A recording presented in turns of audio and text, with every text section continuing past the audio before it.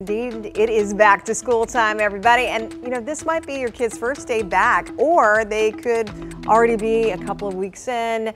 Here's the thing if your kids are starting to get kind of the back to school jitters, it's okay. It's, it's understandable. That's right. Uh, pediatric psychologists say feeling some anxiety ahead of a new school year is common. Mm-hmm. Back to school anxiety is totally normal. Um, a lot of children experience it. Um, some typical signs that your child may be experiencing back to school anxiety. Um, the most notable, obviously, is if they verbalize feeling anxious about it.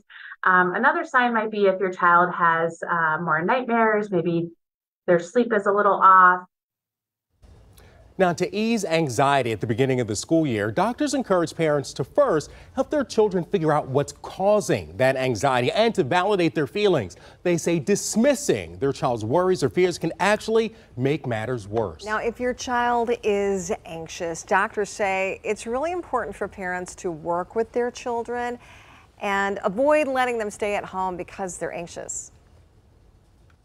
One of the worst things that we can do when a child has anxiety is to um, help them avoid the situation.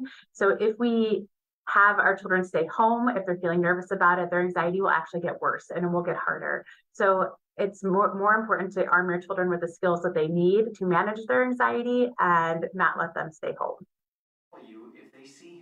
Good advice. Now, if your child continues to struggle with anxiety, doctors say it may be time to seek further help from a mental health professional. That's completely fine as well. So mm -hmm. just kind of uh, check in with your child and see how they're doing. Yeah, and she had great advice. Notice if they start to change their patterns, right? Anxiety, mm -hmm. you know, can lead to sleep problems, eating problems. So yeah, those are some signs that your child may be working through something.